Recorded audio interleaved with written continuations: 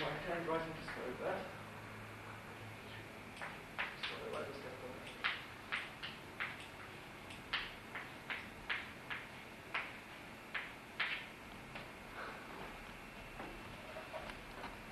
Okay. So do we start? You can start now. Mm-hmm. Okay, hello everybody. Um, as far as I heard, the math courses are most catered here at MSU.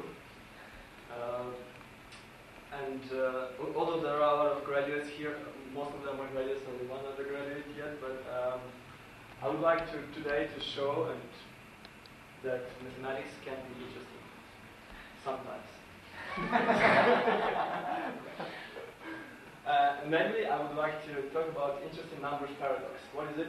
We will know it later, but first so we would consider a few uh, interesting examples. Uh, does anyone has a calculator here on mobile phone?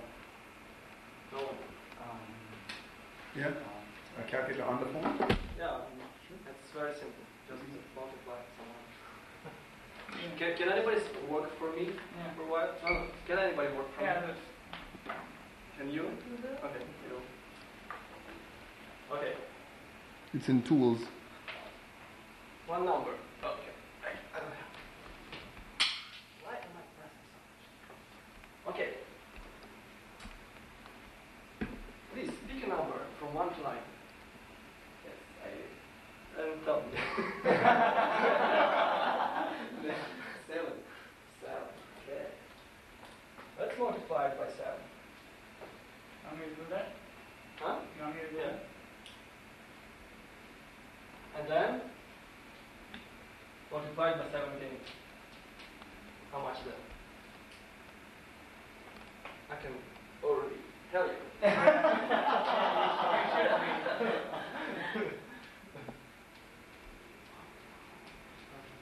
Yeah. Yes? Mm. Uh, pick a number from 1 to 9. Multiply by 9. Should I bother doing this? Yes. Oh, yeah, okay. Do it. Please. One more time.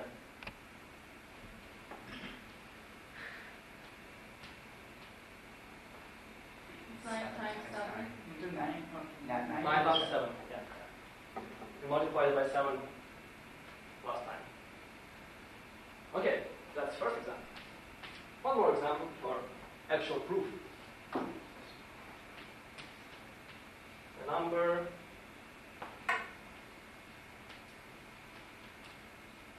Who wants to pick a number? Aaron, pick a number from 1 to 6. No, not 2. 2. Please. I don't know the result now. Actually, I know.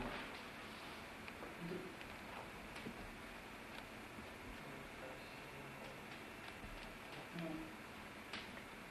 So, this number doesn't look very No, two, Well? five, seven, one, four. Four. So, oh, okay. Yeah, so that's yeah. Mm. What do we have now? It's ten. Yes. One more? Um, one to six, you say? One six, yeah. Um, five. Five. Now, I'm not, I don't know for sure. No, I know. Actually, you Seven, took the same numbers as me. Seven, one, four. Two and five. Two and five. Hmm. Again, this time it's only one. Simply have to move. And we get the same number. Yes? Yeah. So, from these two beautiful examples, we can conjecture that there are no non-interesting numbers. Well, but, and I can give you a simple proof of this statement. Let's suppose there are interesting numbers and non-interesting numbers. Two groups of numbers. So we can divide them in two groups. Let's take a group of non-interesting numbers. We can pick the smallest non-interesting number, which is, of course, interesting because it's the smallest non-interesting number. so we, we take the smallest in, interesting number, non-interesting number,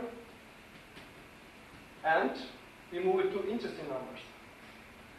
Then we can pick another smallest because, yeah, we can again pick another one which will be the smallest in this group, and again it will be interesting because it's the smallest non-interesting number in the group. That's how we can move all non-interesting numbers to a group of interesting numbers. That's why all the numbers are interesting. you see, the, and as mathematics is a, is a science about numbers, then mathematics is interesting. So that's, that was the interesting numbers paradox. Uh, paradox, this is paradox because actually if you move two interesting, non-interesting numbers of such quality as smallest, then the one which is bigger becomes more interesting. But it's okay. but um, that's the paradox. But you know, you cannot disreject the proof of this. Uh, so I will finish with one question, which, uh, which was given uh, to me by a professor on exam. And by, from this question, uh, depended my mark on exam. Uh, it's very similar to this paradox, but it's very different. It might seem to you very different. So let's suppose we are all religious and we believe in some God. Uh, and we assume that God is almighty and he can do anything. So the question is Is God able to create a stone which he will not be able to lift up?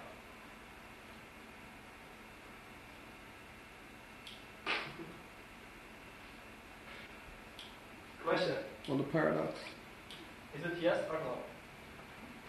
Well, it's a Who paradox votes for yes? question. Right? It's a paradox question. Who votes for yes? Sure, I'll vote for yes. Okay, I- let's okay. Aaron votes for yes. I Let's vote for yes. Suppose. So if if God creates such a stone, Yes. then He's not almighty because He cannot lift it up. Right, but he can do anything, so he can create it. No, but He cannot lift up. Right. So He's not almighty then. If we vote no, uh, if we say no,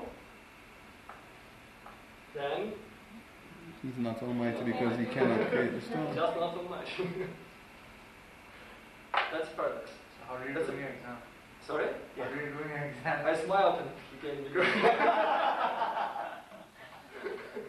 okay, that's all. Uh, about this paradox we can talk after the